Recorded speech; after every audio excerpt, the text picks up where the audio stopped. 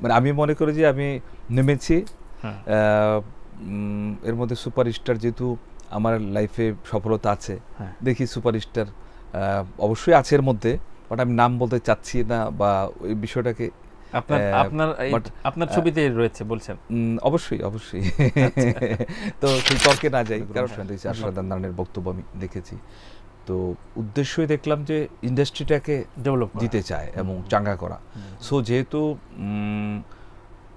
সব কিছু নিয়েই নেমেছে তো কাজে আমি মনে করি অবশ্যই মানে ওনারা সহ আমরা সহ যারা আছি চেষ্টা করতে পারব এবং যেহেতু সফলতা সবাই আমাদের পেছনে ছিল এর আগেও ছিল সফল হবে এবং ইন্ডাস্ট্রি ঘুরে দাঁড়াবে একটু আগে প্রসঙ্গটা আসলো যে অনন্ত জলির যে লুকটা আমি অনেক খুশি হয়েছি এবং আশ্চর্য হয়েছি যে সে ওই সে তো একদম ছবি করছে সব অ্যাকশন এবং বড়লোকি সব ব্যাপার। এবং সেও আল্লাহ রহমতে সেও ব্যক্তিগতভাবে সফল ব্যবসায়ী। বাট ওখান থেকে নেমে এসে যে আমাদের যে লুকে কাজ করল অভিনয়টার দিকে। খুব ভালো অভিনয় করছে।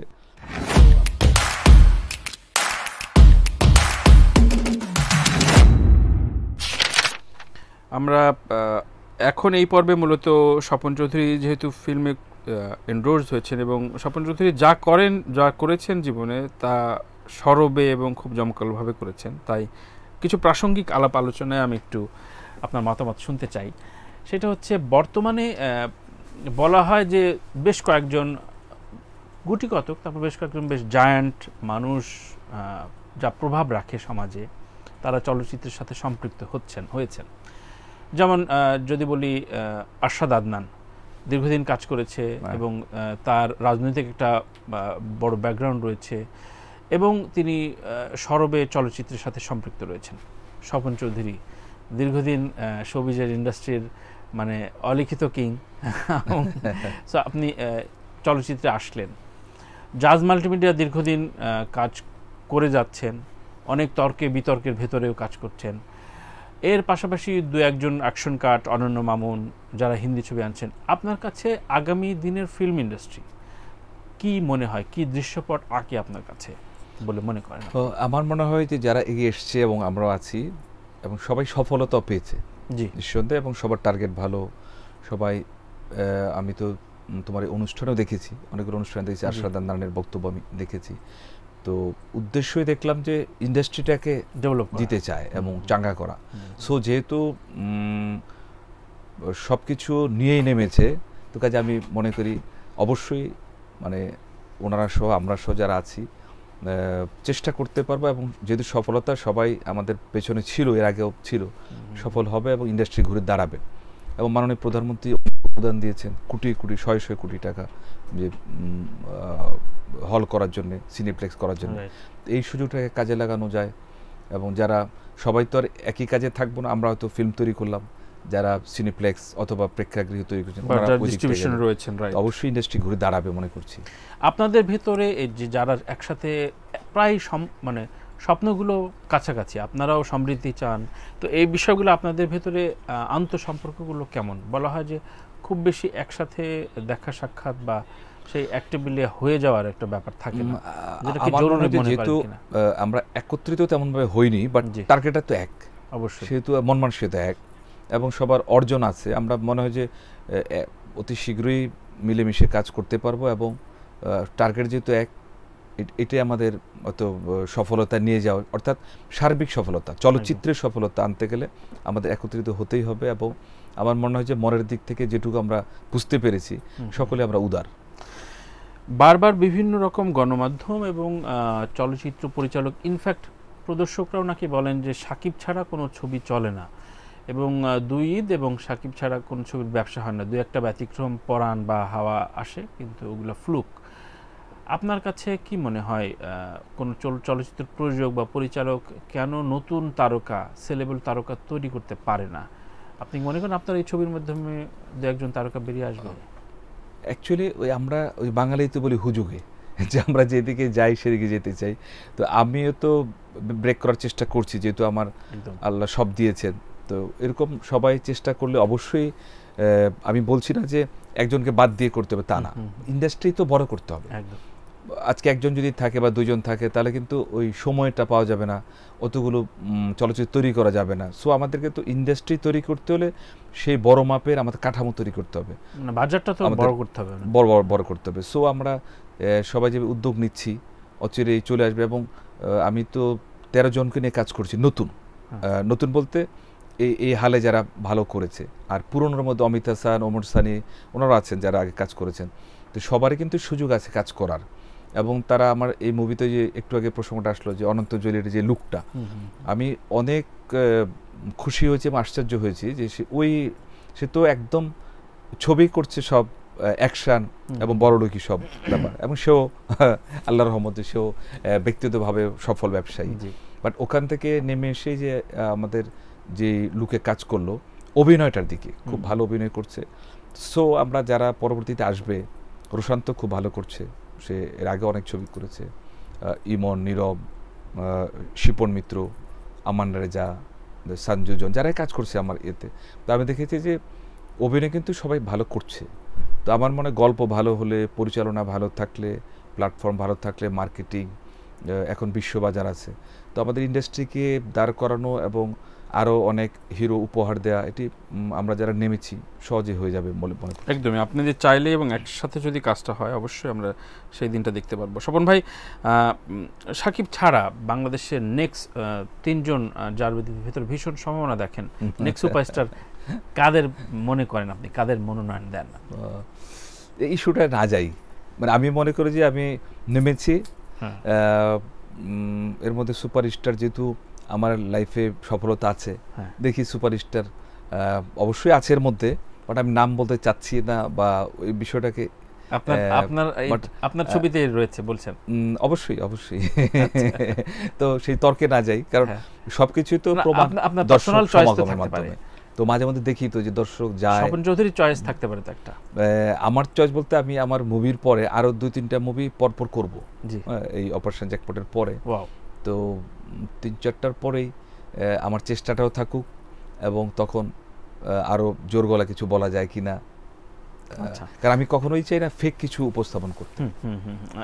আপনার যে লুক যে গেস্টার এবং যে আপনার হ্যান্ডসাম যে বডি ল্যাঙ্গুয়েজ এই আমি অফেয়ারে যেটা বলছিলাম আপনি নিজস্ব একটা গল্পে বা কেন্দ্রীয় চরিত্রে আপনাকে দেখা যাবে কিনা? কোনো ছবিতে ডেবিউ করছেন আমার গল্পে করতে চাচ্ছি না। দিয়ে দেন? আমার গল্পে করতে চাচ্ছি না কারণ তুমি ভালো জানো যে আমরা যে কনসার্টগুলো করেছি জি। তো আমি তো এখনও গা- গাই লাস্ট উইকে আমরা একটা প্রোগ্রাম গেল রাওয়া যে আমাদের আর্মি রিটায়ার অফিসারদের বিরাট ইভেন্ট হলো জলসিতে পার্কে আমাদের বড় ইভেন্ট হলো। আমিও ইভেন্ট অর্গানাইজ করেছিলাম আমি তো গানও গাইলাম দুটো গান গেয়েছি তোমার ভাবিও গান করেছে। আচ্ছা। তো এখনও কিন্তু এবং আমি লাইভেই বলছি সকলেই বলেছেন এবং ওই রাওয়ার চেয়ারম্যানও বলেছেন যে আমি বেস্ট পারফর্মার ছিলাম এই লাস্ট উইকে। তো আমি কিন্তু এখন সেভাবে প্র্যাকটিস করছি না বা পেশা হিসেবে এটাকে রাখিনি। মনের প্যাশন জায়গাতে করি। প্যাশন তো সো আমার নিজস্ব ইভেন্টে কিন্তু আমি পারফর্ম করিনি। আমি যতগুলো ইভেন্ট করেছি হ্যাঁ বিগ বিগ করতে চাই কারণ কি আমি নিজেরটা নিজে করলাম এটা আমার কাছে ভালো লাগে না। যে আমার তাহলে বোধহয় সফলতা নেই। আমি অন্যেরটা পারফর্ম করছি এখনও করেছি। তেমনি আমার শখ আছে যে আমার নিজস্ব লাইফ স্টাইল যেটা এটাই আমি যেমন কেজিএফ টু হলো আমার মেয়ে বলে যে আব্বু তোমার যে তুমি চেইন পরো দুইটা পাঁচটা দশটা এগুলো কেজিএফ টুতে সবাই পড়েছে ইভেন এই যে আমার একটা রিং বার্সাজি বিশ বছর আগের। আচ্ছা। এবারে যে জওয়ান ছবিতে শাহরুখ খানের ইয়েতে হ্যাঁ, আছে। হ্যাঁ, হ্যাঁ। একসময় মোস্ট রেখেছিলাম ওই যে এভাবে যেটা আমি অর্থকণ্ঠে আমার প্রচ্ছদ হয়েছিল। তো সেটা রণবীর কাপুর করল আমার পরে। তো সো আমি খুব প্রাউড ফিল করি যে আমি যেটা ভাবি সেটা হয়তো আর অনেক পরে অনেকে সেটা ধারণ করে। তো সেই কারণে আমি মুভিতেও একটা দুটো এন্ট্রি নিতে পারি। এর মধ্যে অফার এসছে। আমাদের যার সাথে যারা কাজ করছে তুমি জানো হিরো আছে এর মধ্যে ওদেরও তো অন্য অনেক ছবি আমার ছবি বাইরে ছবি করছে। এবং এর বাইরে অনেকে প্রযোজনা আছে। এর মধ্যে অনেকে অফার দিয়েছে। তো একটা এন্ট্রি নিব বাট আমার ছবিতে নিশ্চয়ই না অন্যের আচ্ছা। ছবিতে এবং কমার্শিয়ালি আচ্ছা। যেটা আমার লাইফ স্টাইলটাকে দিয়ে আমার পোশাক আশাক নিয়ে আসব এবং সেটা হয়তো শীঘ্র হতে পারে। মানে সেটা হিমসেলফ স্বপন চৌধুরী স্টাইলি স্টাইলি হবে এবং সেই জায়গাটা হয়তো আমার কিছু আইডিয়াও থাকতে পারে যে আমি. এই এন্ট্রিটা এভাবে নিতে চাই। আচ্ছা এবং যারা কথা বলছে ওরাও হ্যাপি বা ওনারাও চাচ্ছেন যে আমি ওভাবে তারা মানে কম্প্রোমাইজ করবেন। আচ্ছা তো দেখা যাক আসতেও পারি। অবশ্যই। তার মানে ফিল্মটাকে আপনি ভীষণভাবে আত্মস্থ এবং নিজের ভেতরে নিয়েছেন বলেই অপারেশন জ্যাকপটে যেটা দেখা যাচ্ছে যে ব্যানার হেডে it's film by Swapan Chowdhury. সঙ্গে আপনি টোটাল মানে প্রোডাকশনের সাথে আপনি দিনরাত পরিশ্রম আমি এবং অনেকে বলছে যারা তোমাদের মিডিয়া যায় যে আপনাকে তো সব সময় দেখি হয়তো আমার তো আইডিয়া নাই খুব কম শুটিংয়ে গিয়েছি।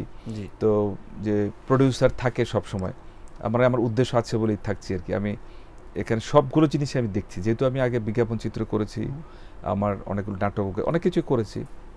তো সো আমি চাচ্ছি যে আমার এখানে মেকআপ যে মেকআপ আর্টিস্ট করছে মেকআপ ঠিক আছে কি না আমার যারা সেট করছে আমি সবগুলো আইডিয়া নিতে চাচ্ছি এবং আমার ধারণ করতে চাচ্ছি আর সেই জ্ঞানটুকু আমার আছে ভালো মন্দ বোঝার। আচ্ছা। সময় দিচ্ছি এবং এখানে আমার ওই সারপ্রাইজে কিছু থাকবে যে আমি এটাতে কি কাজ করছি। কোথায় আছি? আচ্ছা আচ্ছা। মানে ইয়ের বাইরে। সার্বিক তো আমি করছি তার বাইরেও কিছু থাকতে পারে। যাক এই ছবির পিয়ার বা বিভিন্ন রকম ছবি যেগুলো লিক হয়েছে তাতে কোনো রকম নারী চরিত্র আমরা দেখতে পাইনি। এখন অব্দি তো একেবারে নারীবিহীন নিশ্চয়ই কোনো ছবি বেরোচ্ছে না। একেবারে নারীবিহীন না আমরা যে শুটিংগুলো করছি হ্যাঁ। তো এর মধ্যে আমাদের যোদ্ধাদের ছবি বেশি আসছে ইয়েতে প্রচারে। আর এর মধ্যে শুটিং হয়েছে আমাদের বাংলাদেশ চলচ্চিত্র শিল্পী সমিতির সেক্রেটারি নিপুণ আক্তার। জি। আমার একটি ক্যারেক্টার করছে যেখানে একজন স্কুল শিক্ষিকা অনেস্ট স্কুল শিক্ষিকা এবং আমাদের গোয়েন্দার তথ্য দিয়ে যে নৌ কমান্ডোদেরকে সহযোগিতা করে। খুব ভালো একটি আচ্ছা। চরিত্র। তো ওখানে এই চরিত্রে নিপুণ আক্তার আছেন এবং তার হাজব্যান্ডের ক্যারেক্টারে আছে আবার পাকিস্তানি চরিত্র। খুব আলোচিত এবং খুব স্বনামধন্য খসরু আমাদের প্রযোজক সমিতির আচ্ছা আচ্ছা। তথা এখন সমস্ত সংগঠনেরই আহ্বায়ক অনেকগুলো সংগঠন হ্যাঁ, আঠারো বিশটা হ্যাঁ, সংগঠন হ্যাঁ। মেবি তো এবং এত সে আমার ছোটবেলার বন্ধু তো আমি বন্ধু হিসাবে কাস্ট করিনি আমি অভিনেতা হিসেবে কাস্ট করেছি এবং অভিনয়ের সময় দেখলাম যে সে রিয়েল অভিনেতা। ডেডিকেটেডলি মানে আচ্ছা। দারুণ অভিনয় করেছে যেটা সামনে আসবে। তো খুশরু এবং নিপুণ খুব ভালো জুটি করেছে এবং অনেকগুলো নারী ক্যারেক্টার আছে যেগুলো আমাদের গল্পের প্রয়োজনে বা গল্পের মধ্যে গল্প থেকে বাইরে আমরা যাচ্ছি না। বাট মেইন প্রোটাগনিস্ট না হ্যাঁ। তারা। আমাদের এখানে ওই হিরোরা তো ওই নৌ কমান্ডো ট্রেনিং নিতে যায় ফ্রান্সে ওখান থেকে আসে এবং অপারেশন আগ পর্যন্ত বলাই থাকে যে তোমরা কোনো বাসায় ফেরত যেতে পারবা না পার্সোনাল লাইফ নেই তোমাদের। বন্ড দিয়েছে যে তোমাদেরকে এই তোমাদের মৃত্যু জেনেই যেতে হবে যেহেতু সবাই আর্ম ওখানে সব অস্ত্রধারী যুদ্ধ জাহাজ সেখানে ওরা যাবে তো ওনারা সেভাবেই যুদ্ধ করেছে। সেই কারণে পরিবার তেমন নেই। কাজে আমাদের যে লেডি ক্যারেক্টার আছে অনেকগুলো ফিমেল চরিত্র আছে বাট কম। আচ্ছা আচ্ছা।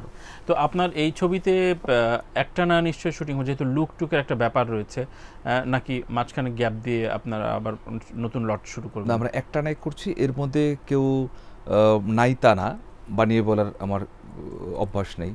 অন্য ছবি করছে বাট ওরা স্যাক্রিফাইস করে এবং তারা প্র- প্রযোজকের সাথে বা পরিচালকের সাথে কথা বলে নিয়েছে যে এই লুকটা এই লুক আসবে।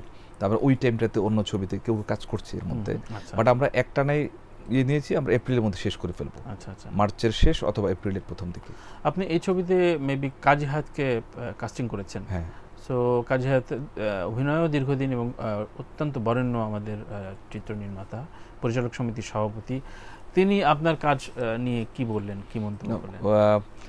বেসিক্যালি দি ফাদার হায়াত ভাইয়ের ছবিটা আমি দেখেছিলাম কেঁদেছিলাম হলে। তখন তো এটাই হতো মানে হ্যাঁ ওই সেই থেকে কাজী আমার মনের মধ্যে আছেন তো ওনাকে কখনো ব্যতিক্রম লোক তো আমি। ভাবলাম যে ওনাকে অভিনয় নিয়ে আসি। আচ্ছা। পরিচালনা তো করেনি সরমখ্যাত জি। অভি- পরিচালক।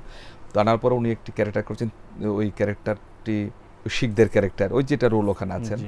তো ওখানে এসে উনি আমার সেট টেট দেখে আমার আয়োজন দেখে আমার যারা অ্যাসোসিয়েট আছেন তো উনি খুব প্রশংসা করলেন যে না অনেক দিন পর একটা রিচ প্রোডাকশন হচ্ছে তো আপনার টার্গেট ভালো এবং আমাকে জড়িয়ে ধরলেন। সেদিন খুশরু ছিল আচ্ছা। এবং উনি জড়িয়ে ধরে বললেন যে ভালো কাজ হবে বুঝাই যাচ্ছে। এবং এতে আমি ওই যে বললাম দর্শক তো আসবেনই অবশ্যই বাট তার আগেই বলতে পারি আমার যারা স্বনামধন্য চলচ্চিত্রে যারা পুরোধা ব্যক্তি ওনারাও অনেকেই আসছেন এর মধ্যে। সবাই বলছেন না ভালো কিছু